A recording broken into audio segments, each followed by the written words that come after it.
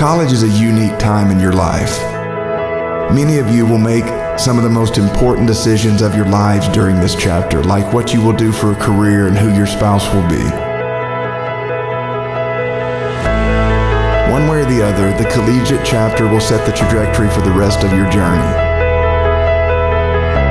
This will be an amazing adventure, but it can also create some anxiety.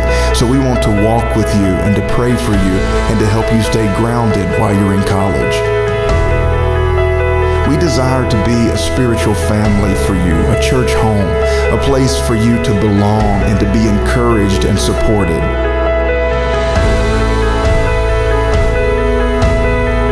We value three things the Word of God, authentic worship, and real community. These are the tools that God will use to shape and direct your life. These are the things that fuel a missional lifestyle, and these are the things that continually remind us of what ultimately matters. Jesus said, What good is it if you gain the whole world and yet lose your soul? In the same way, I would say to a college student, what good is it if you make that 4.0? If you find the perfect spouse? If you make the most money and yet lose what matters most? Don't miss it. Don't miss the chance to connect and to grow and to serve. Seize the opportunities to make a difference and to light up the night with the love of Christ.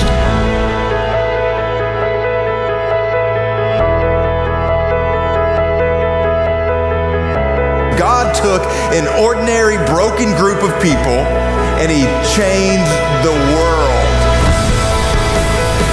When was the last time you were in awe when you stood in the presence of the one true creator of all things, the God that created all there ever was and all there ever will be, and somehow He knows who you are? I believe that God has called everyone here for a reason of all the universities that you could have ended up at, you're here.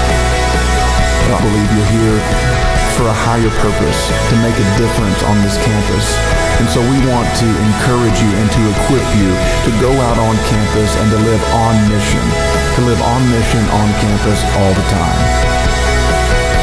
If God could take that group of ordinary broken people and change the world, then it's possible for Him to take another group of ordinary broken people and change a campus, or maybe change a community, or maybe even change the world.